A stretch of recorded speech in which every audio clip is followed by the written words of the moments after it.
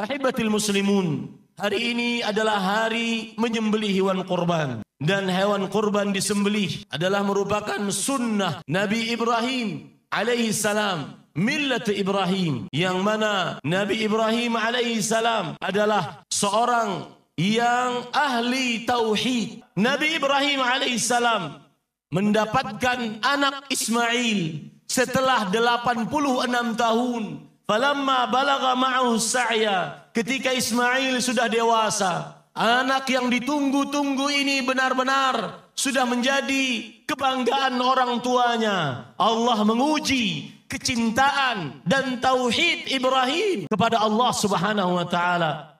Qala ya bunayya inni ara fil manam anni azbahu anzur madza tara. Wahai anakku sayang, aku bermimpi. Lihat, hanya sekedar mimpi Nabi Ibrahim alaihissalam percaya dengan wahyu dari Allah subhanahu wa ta'ala. Aku bermimpi, aku menyembelih engkau wahai Ismail.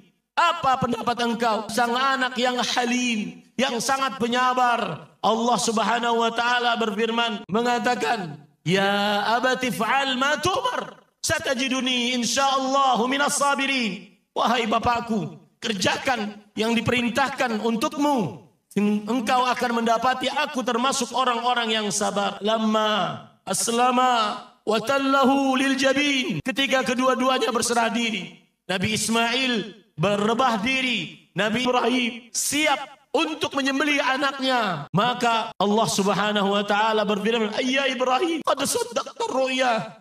Inna kadzalika najzil muhsinin." Wahai Ibrahim, Sungguh engkau telah membenarkan mimpimu sebagai wahyu. Sesungguhnya demikianlah kami memberikan ganjaran kepada orang-orang yang berbuat ihsan. Wahai kaum muslimin, jadilah hamba Allah yang bukan hanya sekedar mengedakan perintah, yang bukan hanya sekedar menjauhi larangan, tetapi berbuat ihsanlah kepada Allah. Taatilah Allah dengan ketaatan yang mutlak tanpa ada alasan. Alasannya cuma satu. Kami hamba Allah subhanahu wa ta'ala. Panitia kurban Inna Panitia kurban 1445 Inna